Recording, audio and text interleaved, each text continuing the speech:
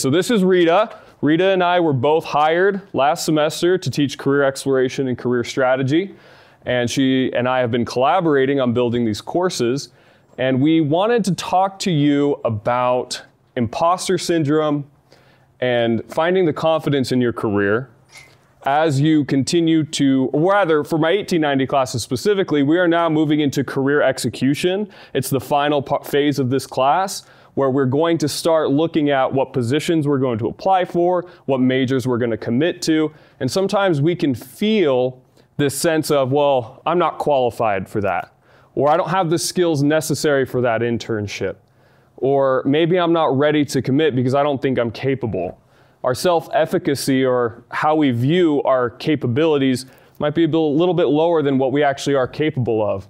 And so we want to talk about that today as we move into this transitory state of, yeah, okay, you know what? I'm going to be a marketer, or I'm going to be in finance, or I'm going to be in accounting, whatever it might be.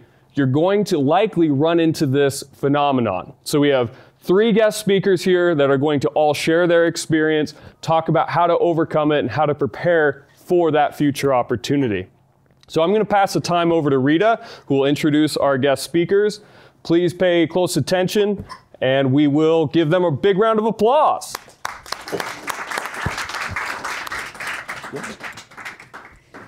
Okay, so I'm excited to be here. Um, let's talk a little bit about this.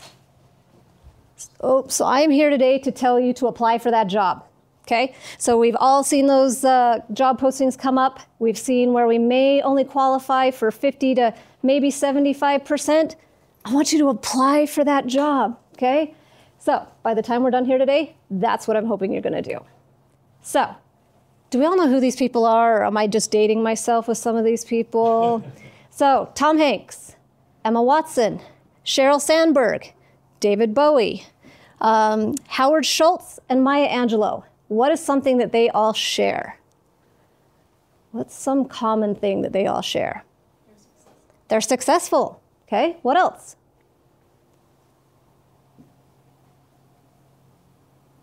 What else do they share? They're all in the public eye. I like that one. Anything else you think they share? Okay, they share something that I've had and that I've experienced. They all share a lack of confidence in themselves and imposter syndrome. So I've got a few things, I've got a few sayings for you. So no matter what we've done, there comes a point when you think, how did I get here? When are they going to discover that I am in fact a fraud and take everything away from me? Tom Hanks. This is uh, a Tom Hanks quote from the last couple of years, not when he started. This is in the last couple of years. Tom Hanks, how successful is he? Extremely successful, okay? How about Maya Angelou? I've written 11 books, but each time I think, uh-oh, they're going to find out now. I've run a game on everybody and they're going to find and they're to, going to find me. Yeah, anybody felt that way? Okay. Uh, very few people, whether you've been in that job before or not, get into that seat, believe today that they are qualified to be CEO. They're not going to tell you that, but it's true. Howard Schultz. Okay. Uh, when I receive recognition for my acting, I feel incredibly uncomfortable. I tend to turn on myself and I feel like an imposter. Emma Watson. She's a great actress, is she not? Um, every time I took a test, I was sure it had gone badly. And every time I didn't embarrass myself or even um, excelled, I believed I had fooled everyone yet again. One day soon, the jig would be up. There are still days when I wake up feeling like a fraud, not sure I should be where I am. Sheryl Sandberg. And the reason that I end with the, the quote by Sheryl Sandberg is um, I'm going to tell you something. So I have an executive MBA uh, from the University of Utah. If you would have seen me after Bob's class, because uh, you take him on day one, Dr. or Dr. Allen's class, uh, you would have found me in the bathroom crying with three other girls. Okay? And I'm not kidding you. We sat in the bathroom and we cried because we felt like we didn't belong and that somebody was going to figure out that we didn't belong there. Okay? There were some uh, women from the class in front of us who came into the bathroom and said, Hey, don't talk to yourself that way. You belong here. You belong just like everyone else. Um, and, uh, and so we're going to talk a little bit after um, Dr. Allen speaks to us about what that's like, okay? Because you're going to apply for jobs. By the time we leave here today, I want you to apply for that job that you meet 50 to 75%, even if you're feeling this way. So, uh, I asked Dr. Allen, I sent him a simple email, real quick. I sent him an email and I said, hey, I'm noticing some things in my students that I've also noticed in myself. I'm wondering if you have felt this way when you applied for this role as a dean. Because, correct me if I'm wrong, you haven't been dean before. No. So he didn't say, and I said, if you have felt this way, would you come talk to my class? He had a one sentence reply to me that was, when do you want me to come talk? Okay? So I want you to know that everybody feels this way, okay? Or most of us feel this way. And with that, I'm going to pass it off to Dr. Allen. All right, so I'm going to start not so much talking about this job. I'm going to start with an experience that happened when I first arrived at university. Okay, so in high school, I was a decent student. I would say I wasn't a great student, but I was probably, you know, the top 25% of my class, but I definitely wasn't in the top 10% of my class. Or and and I took some classes that I, I was in classes with some of those college prep kind of classes with some really smart kids and I always felt like they were smarter than I was. And and so when I got to university, suddenly I was terrified. Um, I I I'm from Phoenix, Arizona, and so I packed up and I moved and I my I went to BYU. And so I'm away from home for the first time and I was thinking, man, if I flunked out, uh, there's a lot of smart kids at BYU, and if I flunked out of BYU, that would be so embarrassing to have to go home and, you know, well, I thought you were going to school. What are you doing back home? You know, that I'd have to answer this question. I mean, I was, I was, that thought ran through my mind repeatedly. And I remember I walked into a very large, one of my first classes that semester was an econ class. It had like 300 people and it was in a big auditorium. And I was so intimidated because at that time I sort of equated intelligence and um, whether you were smart or not with your age, right? Because what did I know? I knew that fifth graders were smarter than first graders. I knew that juniors were smarter than freshmen. And what am I here in this 300 class? I'm the dumbest guy in this class because I'm the least experienced. At that time, you know, the way birthdays and whatever worked in Arizona, and when you start school, I was younger. I had my birthday. I was a 17 year old freshman right? And so here I am in class, and there were guys in this class that like they had beards. Well, they didn't. They could grow a beard, I should say. Not they didn't have beards there, but they they need. I had a razor, but I didn't really need it. And so the teacher on the first day of class says, you need to work hard in this class because experience suggests that 10% of you or about 30 of you are not going to succeed in passing this class. You know, that scared me. I'm like, well, I'm, I'm the dumbest guy in the class, and he's telling me that 10% of the people are going to flunk. And that must, I must be among that group. So what did I do? I was, he scared me into studying really hard. And I did. I studied really hard. And, um, but even though I worked really hard, when it came time to take the first exam, I was really scared. And I had my choice to take the exam over two days. And so I kind of planned, well, I'll take it on the first day because I got other stuff and other classes. So I remember walk, starting to walk over to the testing center where you'd take an exam like this. And I got so scared on my way to take the exam that I turned around and I went back to my room and started to study again. And I made a deal with myself. I'm going to study for one hour and if I can find something that I don't already know while I'm studying, then I'll keep studying. But if I can't find anything as I study that I don't already know, then I'll go take the test. And I'll still probably flunk it, but I'll at least know that I've done the best I can do. That was my mindset. So I went home and I went back to my room and I studied for an hour and I found nothing that I didn't already know. As I read the book, as I read my notes, even as I read like the the descriptions under pictures and the footnotes at the bottom of the page, I couldn't find anything that I didn't already know. No, I know that. Yeah, I know that. So I went and took this test, and it was 25 multiple choice questions. And as I worked through the exam, I was like, man, this thing is really easy. I'm shocked at how easy it is because he took, he said 10% of the people are going to flunk this exam. How could anybody flunk? This is, he was pulling our leg. And, you know, the hard test is coming later or something. So I got to the, you know, I went through the whole test and there were, I was positive that I was getting, that there were 23 questions I had right. And there were two where I had it narrowed down to two answers and I was pretty sure that I got, that I picked the right one of the two, but I wasn't positive.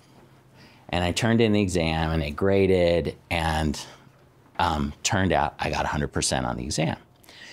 But I thought, man, everybody's going to get in the 90s on this thing. It's just, it was too easy. So I go back to class, 300 people, and, and just as they, a couple classes later, they shared the distribution of how people did on this test.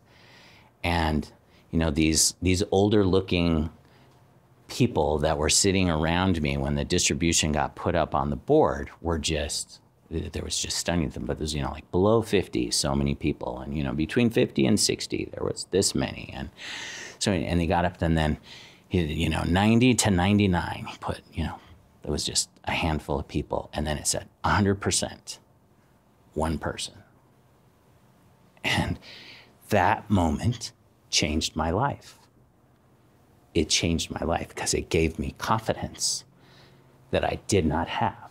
And I knew that if I worked hard, I could do things. I could do well in school if I worked hard. And so I would encourage you to reflect on the moments in your life. Maybe that that was a pretty big one for me. And maybe maybe yours your moments are different and distinct and, and smaller and you didn't but or not smaller but just different and and so but but I, what, what i would encourage you to do invite you to do is think about the good things that you've done in your life the successes that you've had in your life and remember those experiences and so often the dialogue that goes on in our head is negative i think that's just human nature. And, and I think we have to work at it to tell ourselves a positive narrative. This narrative that, you know, Tom Hanks isn't a, you know, that he worries that he's, I mean, he's one of the best actors on the planet and has had an amazingly successful, and all those people, amazingly successful. And I think it's, it must be a common thing for, for at least many of us to have this kind of negative narrative emerge in our heads.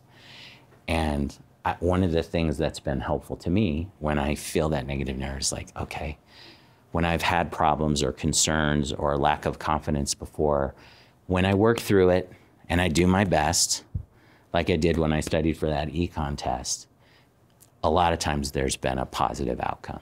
And so I can work through whatever is facing me now, I can work through that and I can figure that out remembering the positive narrative. So again, I, I look at this now. You know, I'm a dean uh, in uh, the business school. There are seven deans on campus. I'm the newest one. I'm the least experienced one. Um, and I'm, I'm learning. It's on the job learning, and there's so much to learn. And I feel like um, it's a challenge to come up to speed and to figure things out. And I'm working with people that I've never worked with before. You know, one of my responsibilities is for fundraising, and I'm working with people who make a lot more money than I've made in my life. And you know, there's there's a name on the building here, the the Keller Building. You know, you, getting your name on a building that's someone who's been really successful and then after their success that has been really generous with their resources and i'm working with people like that to all of a sudden you know i used to be a professor that worked with students like rita was when she was in the executive mba program and And I, I was, I'm comfortable there. I did that for 30 years. I learned to be comfortable doing that. Um, but here in a new role, I have things to learn. And I guess the thing that I would would invite us to think about is build on your successes, believe that you can do it, and there's no substitute for hard work. Um, but believe in yourselves. Um, it's it's really important that you learn that skill. Believe in yourself, because um, it doesn't go well when we don't. Um, believe in yourselves. You can accomplish amazing things. Your human potential is amazing. You can do you can cure cancer. You can when you put your mind to it, you can figure it out. Um, and so that would be my message to you is to learn how to do that. Learn how to believe in yourself and focus on the successes that you've had, build on them, work hard, and great things are bound to happen in your lives. I want to know what conversation you had with yourself because we do all have that negative self-talk. I want to talk more about that. But what conversation did you have with yourself when you saw the job posting for the dean here or somebody brought it to your attention? Uh, when they first brought it to my attention, I was like, oh man, I'm too busy. Uh, I don't want to. In fact, there were two dean searches, right? So the first dean search I didn't participate in. I was invited to by some friends here in the school. Said, "Hey, we think you ought to apply for this," and I didn't. I was because I felt like I was too busy. I had some volunteer responsibilities that were taking a lot of my time, and so I didn't. And and I really didn't have time to do a good job of doing the search. And then um, that first search failed, and it was eight months later, and the volunteer responsibilities that I had were coming to an end, and and so my friends reached out again and said, "Hey, we think you ought to apply," and I thought, "Wow, I." But again, I came down here, I saw this, saw the building, and I, I realized that UVU was way ahead of where it was in my mind, right? I, when I joined University of Utah 30 plus years ago, I think it had just gotten switched from being a community college and it was a brand new state college and, um, you know, much smaller. And anyhow, the, the, the maturity and the growth that's happened here is really phenomenal. And then the more I began to study and learn about where UV, what UVU is doing, I realized that, oh my goodness, these are my people. This, the, the faculty that work here are focused primarily on students.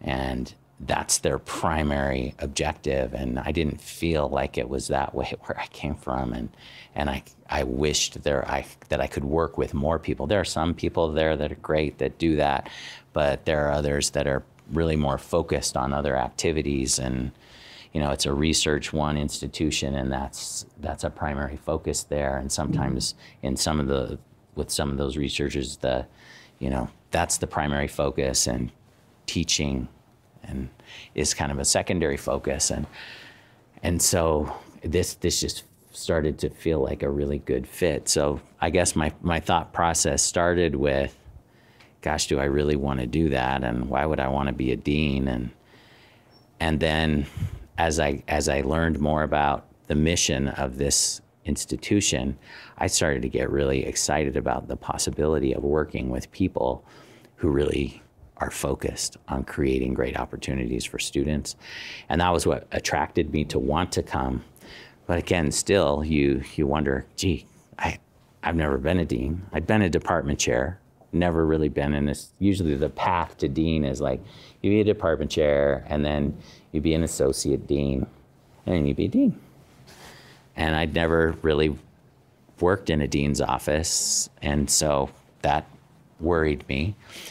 But then I, I, was like, well, I did have some other leadership opportunities, that volunteer responsibility that I talked about. I was president of the American Accounting Association. And I thought, oh, yeah, that's kind of, that's a good thing. And I'd been on a board of a bank for 15 years. And, um, you know, had had experiences where I had, you know, hired and fired CEOs and CFOs in that role, and thought, well, yeah, there were some leadership experiences there. And then, I, I in some volunteer responsibilities, I worked at, served on the board, and been president of the board at the homeless shelter in Salt Lake during a time of political strife when they were closing down the large old shelter and opening up new shelters around the city and and so I had experience dealing with kind of political challenges and things like that. So um, again, though, I didn't I didn't have specific experience as a dean, and I have had and continue to have my GM. I really cut out for this, but I think again, I, I try to positively speak to myself about myself in my mind and believe that I can. And I think there are a lot of good things that are happening, and I, I hope the, that in the long run, this will be a good experience for me, and it'll be a good experience for all the people that I work with, and that the school will move forward in positive ways. I believe that it will. I believe that it's happening. Uh, I think it's happening primarily because we have great faculty that work hard, great faculty, great staff that work really hard to create great opportunities for you. Yeah. Bob, in our class, we talk a lot about skill transferability. And earlier on in the semester, we looked at ourselves and the things we've done in our lives to pull out some commodifiable skills, skills that have value, whether it was something in high school, service projects, different experiences like that.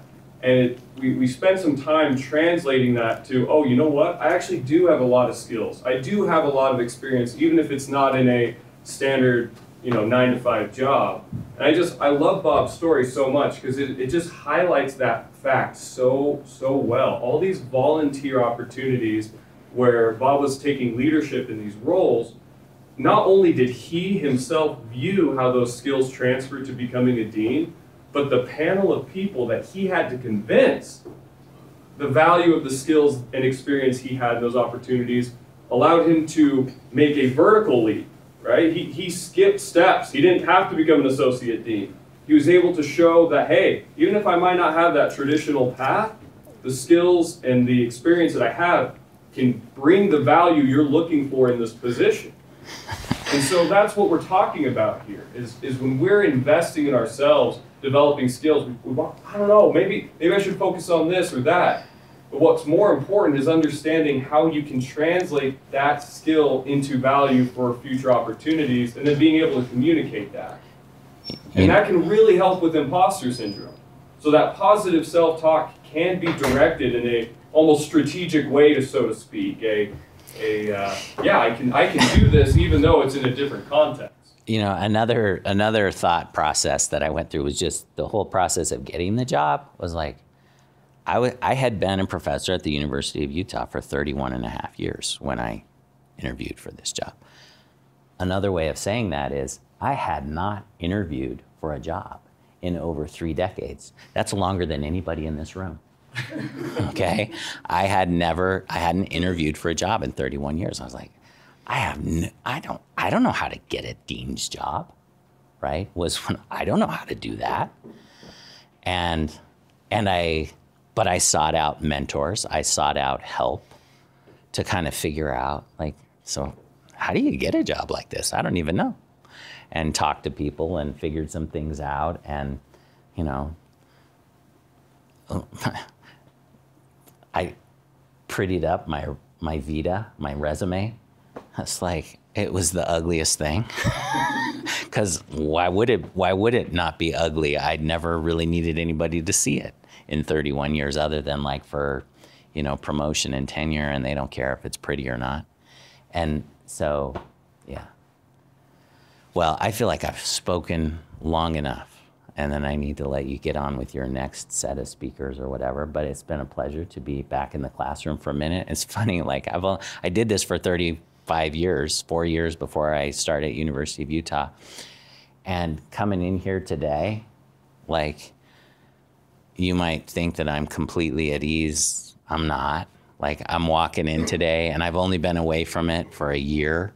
But like I've been away from it for a year and I'm walking in front of a classroom with a bunch of students in it again who I don't know. And that's there's still like even though I did that for 35 years, there's still something a little uncomfortable about it.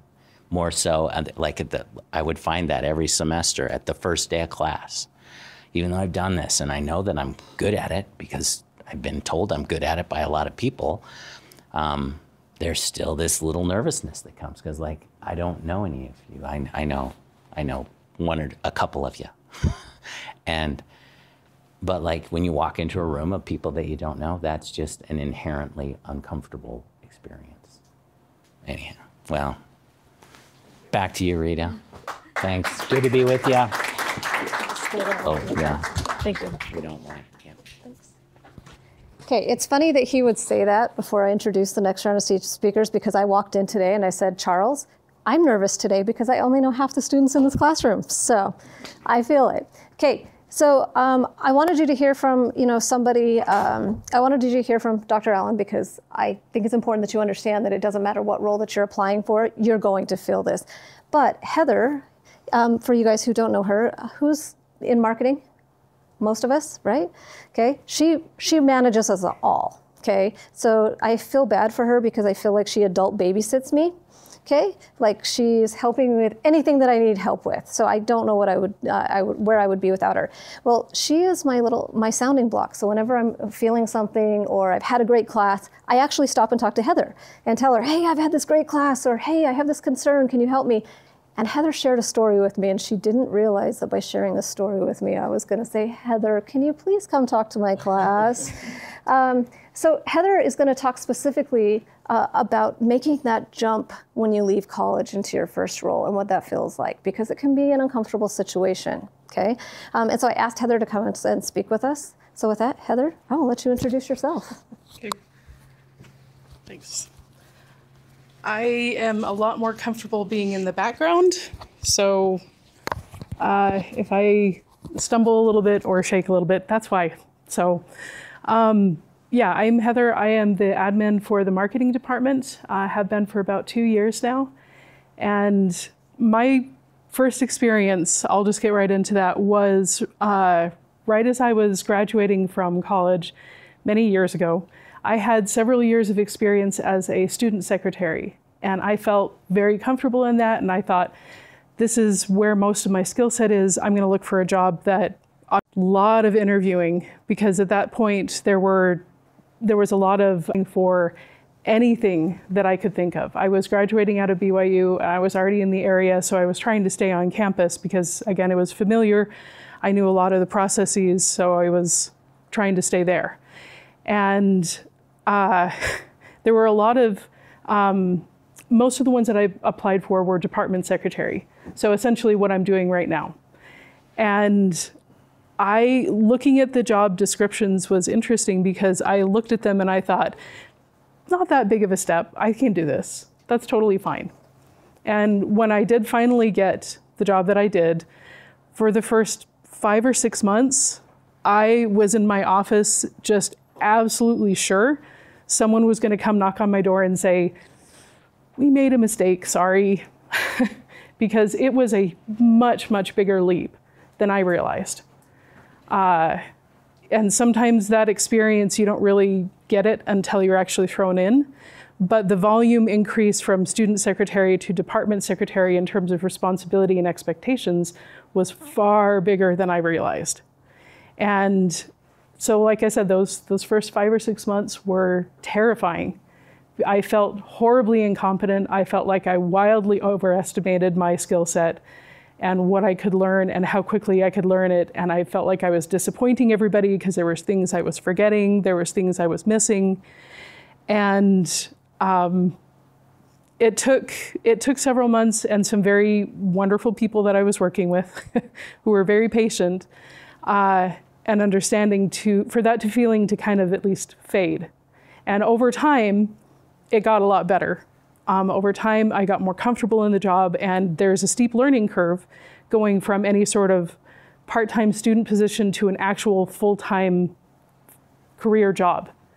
Uh, but it's something that you can certainly learn, Um, like, for example, right now, I have a training manual that I've created for myself to help me, especially with those things that I only do once or twice a year so I don't remember. And I write it down so that I have a ref, reference to go back to. That is probably around 50 pages at least at this point. So there's there's a lot of different things that I was expected to be able to just pick up and start being able to do competently. But it took it definitely took time to get there. So I want to know what questions you didn't get Bob for questions, but we've got Heather. What questions do you have about how this feels or how to overcome it? Yeah, I guess the question I would ask is when you're feeling that overwhelm, when you're feeling they're going to fire me tomorrow, how did you talk yourself through that? How did you endure that? What was what was the mental things you were saying? Um, that was a hard one because every day that I came in, I was a little bit surprised when they greeted me instead of saying, sorry, we made a mistake. Um, a lot of it was just looking at the task ahead of me and trying to say, okay, they hired me.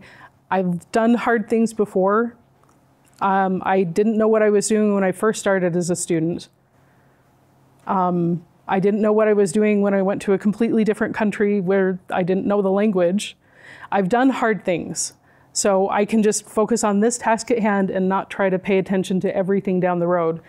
I can do this and I can do it well. And just kind of doing that over and over and absolutely turning to the people around for questions, for resources, for help. And not trying and recognizing that there are people that will help. Yeah. Do you, think, do you think that not feeling qualified made you want to work even harder and like push yourself to learn and grow more? Absolutely. I didn't want to lose my job. um, like I said, it's it's funny how much I underestimated the leap. And so it really caught me by surprise. But looking around and recognizing there are other people doing this. This is not an impossible job. It's just something you have to learn how to do. So you learn how to do it. Can you just say that word for word one more time? I could like put that on a poster somewhere. That's so good. Uh, I know, I know, I keep remembering word for word what you said. I know. But it, it, it's not, when you feel overwhelmed, it's not impossible. Somebody else is doing it, you just have to figure out how to do it. Mhm. You, you put it more eloquently than I did, but that, that concept, guys, listen, nobody knows what they're doing. When they get hired, trust me, like, you don't have to know everything. You don't have to know exactly the technical skills or there's no way you're going to be fully 100% prepared for a job or 100% qualified for a job. That's part of the game, that's part of the system. And so having confidence in that reality that it isn't who are you to say to get this job, why not you? There are other people doing this successfully, you just have to figure out how to do it. Mm-hmm. That's, that's such a great example. I love that. And having the baseline of skills to build on. Like I wasn't trying to go into something where I, I really had zero experience. I was trying to build on the skills that I already had. Yeah. Uh, we talk about, a lot about the importance of networking, uh, networking in this class. Are there any times in your career specifically where networking has helped you or you had to develop a network to help you? Um, yes, actually getting this job. uh, I first started at UVU um, in a part-time role back in 2018, and uh, it was for the brand new engineering department, and that was that was a baptism of by fire. That one was a really hard, hard position with a brand new, created from scratch department, uh, and I didn't know anyone, so I came in on that one completely blind, just relying on experience. However, working in that area, uh, I was able to pick up how UVU does things, the processes, and learn from that. And I became friends with Susan Dunn, who was the financial manager of uh, CET at that time. And when she moved over here, and I started looking around and saying, okay, I think I need to get a full time job, money is always fun. Um, she was my main point of contact. She was the one who recommended that I apply for this job. So that's that's how I ended up in Woodbury. So networking makes a big difference. It shouldn't necessarily mean that you get something you're not qualified for, but it may open opportunities and be a good reference that helps. Again, just to highlight that, the four people that have spoken in this room all have their jobs here because of people we know. I got hired because of people I know. Heather did, Rita, Dr. Allen. Dr. Allen's friends were the ones telling him to go apply to the job. You know what I'm saying? And that's not just a UVU specific thing. That is truly a universal experience. Yeah. Any other questions? For Heather, before we move on to our next little bit. You're right. Okay, All right, just- just sure. Okay, please. Thank you. Okay, so now we're going to talk a lot about what's already been talked about today. And we're going to talk about this 75% of professionals felt a lack of confidence or imposter syndrome when applying for a new position. Charles and I decided the other 25% probably aren't applying for a new position. Okay? Um, but uh, he's not wrong. Um, so Dr. Allen was actually my network into UVU. Um, so not only is networking important when you're finding that next job, but it can also help you when you want a job right away. Okay?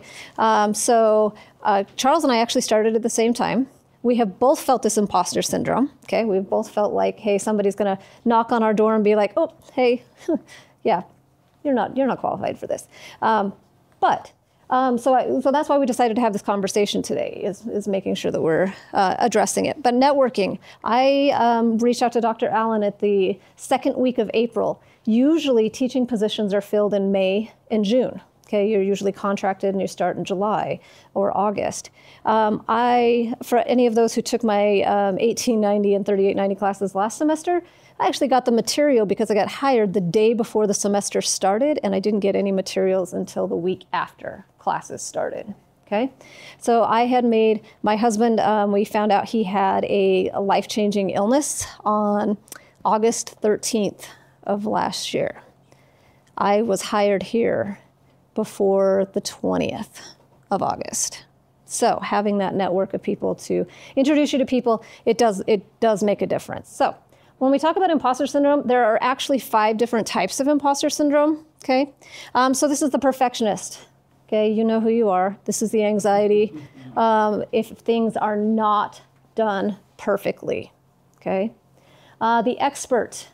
Um, Heather might have fallen into this. Uh, the fact that she's made a 50-page handbook is crazy to me, but that's that's cool. Um, and these are the people who have the fear of the that they might lack the knowledge. Uh, the soloist. These are those people who don't want to ask for help for anything. We just want to do it ourselves. Okay. Um, Dr. Allen alluded to this. The natural genius. Okay, stresses over not uh, succeeding on the first try or not being the smartest person in the room. Um, and women, I'm talking to you on this one because I know we feel this. The superhuman feels guilty if we don't please everybody. Okay, so these are definitely five types of imposter syndrome that, that you can experience. Uh, real quick, what Yeah. if you identify as all five? I identify as all five. We're good. People, yeah. Yep, you can have a little bit of all of this. Charles, feeling that way? Oh, 100%. No, when I got when I got first hired as an adjunct, even, um, I, I definitely felt imposter syndrome to the max. I wanted I wanted every student to be 100% happy. Felt like I had to know everything. I felt like lesson number one had to be perfect. Had to yeah soloist. I couldn't rely on other professors. I mean, I had to be independent. And then perfectionist. Yeah, I mean everything had to be perfect. And so, yes. Anybody else in our boat can fill? Yeah? See some head shaking? Yep. Okay. So there are ways to overcome this. Okay. Um, and you've heard a lot of the ways of overcoming this already. Focus on the facts. Okay. So the, what are the facts? What are your skills? We've already talked about your skills. Everybody in this room should have a list of your skill sets. Okay. Um, know what your skills are. Um, learn from other to, from team members or learn from other people. You've heard that today. Where we uh, don't think that you have to find out all the information on your own. Learn from other people. Um, fight feelings with evidence. We're going to talk more about this in a minute, but you're going to go back to that list of skills. Okay, when you're feeling um, uncomfortable. Here's a big one. And the reason that we're talking about this today is acknowledging and releasing feelings, is the fact that we want to give this a name. When you are feeling this way, it has a name, okay? Um, it is called imposter syndrome. Uh, reframe negative thoughts. So here's a big one. How do you talk to yourself? Okay, what does that inner dialogue say? If you would not talk to your mom to your close friends that way, um, then you need to change your self thought. And we'll talk more about that in a second. Anticipate when these feelings are going to sneak in. Okay. Um, when Charles and I talked about uh, joining classes today, I was like, oh, yeah, what are you going to do in this class? Do you want to take this on and do you want to present, right? Uh, because, hey, I still feel, have feelings of inadequ- inadequacy on this one. And I wanted her to talk because I feel like y'all are sick of hearing me. so there you go. We're just- that's, there you go. We're good. And my, my class probably feels the same way. So um, share it with someone. Okay. So share it with a friend. Um, share share the how you feel with somebody because you are not alone. So many times um, this can be such an isolating feeling. Imposter syndrome can make you can make it, it it makes you feel like there's nobody else experiencing this. It's just me, and that's not the case. As soon as it has a name and you talk to somebody about it, they'll tell you, "Oh my gosh, I experienced that too." Okay. Um, for those for those people wanting to go into a certain industry and you may not have all of the skill set, but you meet at least 50%, get a mentor there. That's how we're going to find. Uh, that's how we're going to get into those industries, and you are going to start tooting your own horn because every single person in here is awesome. Okay, um, yeah. The, I think about the little Lego guy when I'm saying that, but right, everybody is. You are all so good at something in here. You all excel at something, and I want you to start tooting your own horn. But we're all going to be looking for jobs here soon. So what do I want you to do when, it comes to beating uh, beating out the imposter syndrome, building your confidence, whatever it is that you want to call it, okay? It's either one of those, is identify your strengths and accomplishments. So you should already have a list, but I want you to keep that list handy. What are those things that you're really good at? A good place that if, if you are having a lot of negative self-talk is to write them on your bathroom mirror with a dry erase marker. Okay? Write some of those things that you're good at on your mirror. It comes off, okay? Trust me, it does. So um, maybe you put two or three things for the week. Next week, you put something else. You spend a lot of time in front of that bathroom mirror, believe it or not, and it's a good place, it's a good time to uh, remind yourself of your skill sets. Okay, re. Also, this is literally your assignment. This is your final project for this class is to identify your strengths and accomplishments in the capstone portfolio template. So you have to do it anyway. it's gonna be great. hey, it's a place for you to go back and constantly look at it. So reframe that negative self-talk. Pay attention to what you're saying to yourself. Okay. So today I want you to pay attention to what are what are you saying. Okay. What evidence do I have to support this negative self-thought? You likely don't have any. Okay. So start talking about your start talking to yourself as you would your mom, your close friends. Okay. Start talking to yourself that way. Um, seek support from mentors and peers. Every single person who got up here today talked about having that support from friends, from mentors, okay, from, from their peers. So make sure that you are seeking that support. And then practice self compassion, okay? Be kind to yourself. Um, and make sure that you're, you're I love this. Um, make sure that you treat yourself with the same compassion you would a friend, okay?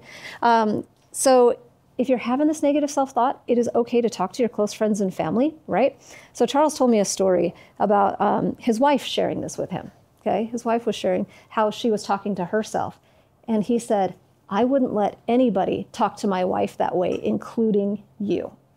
And his wife quickly had a, a, a, a change, right? She, she, she changed her thought process. I said nobody talks to my wife that way, not even you. and uh, it, it like shook her up, yeah. Yeah. Because that that that's exactly this point. I mean, that that that those stories you tell yourself, whether they're implanted by uh, garbage parenting or some leader or person in your community who told you a story about you, and that just starts getting replayed in your brain until you start regurgitating it to yourself and saying it out loud or in your own inner dialogue, just recognize that first off, no one should ever talk to anybody that way. No one deserves it. And you haven't earned that. Like you are so much more you are so much more deserving of kindness. And the expectations that have been placed upon you, uh, all those things that we talked about, the perfectionism, needing to know everything, needing to please everybody, it's bullshit. It's it's straight up nonsense, magical thinking. It's it's actually in psychology it's called a thinking error. But what is real is the feelings that we experience when we have the inner dialogue. And so this is the balance that we're going to try. This we're going to navigate a very complicated mental health thing in a 2-minute conversation. But the nuance here is when you hear that self-talk, to validate the emotion, to say, when I when I hear that voice in my head, it makes me feel discouraged. Allow that, accept that feeling. So yeah, I feel discouraged right now, and semicolon, we aren't going to resist it. What we resist persists. So instead, we're going to say, yeah, I've been told that. I have felt. I've even told myself that, and I'm going to look at the evidence, and I'm going to practice compassion, and I'm going to rely on my friends and family when it's hard. And that's how we overcome the imposter syndrome. And that's how we practice self compassion. That's how we get super successful in life. The biggest person in our way to success is ourselves. And so, this is how we navigate that in a very delicate and tricky and nuanced way, but we do it. And when we can, life gets unlocked. It's great. And you find those jobs you absolutely love. Because as much as you guys scare me standing up in front of you, I love doing this. Okay. So I want to I want to end with two things. Again, it is it can be a mental health thing. So I do want to tell you that if you can't overcome this, it is okay to go talk to somebody. There are people out there available um, to talk to you about it. Okay. Um, I had a professor in my MBA program tell me, "Hey, I'm not. I can't be your mentor till you go talk to somebody about this," and I did. Okay. Uh, number two, um, if you uh, if that's not your jam, there is a great book out there called "The Empress Wears No Clothes." Okay and I will make sure that you guys all have the link for that. And that is a great book um, about this imposter syndrome and the steps to overcome it. Okay, so here's what I task you guys with this week. I task you guys with have making sure that you have this um, list of your strengths and accomplishments as you're looking for positions. Okay, um, and then I want you to think about how you talk to yourself this week. And if you are having that negative self thought, I want you to try to make it positive. Okay, what evidence do I have? Make it more positive. So that's what I task you with this week, you guys. Have a great week. Thank you, Rita. Thanks so much.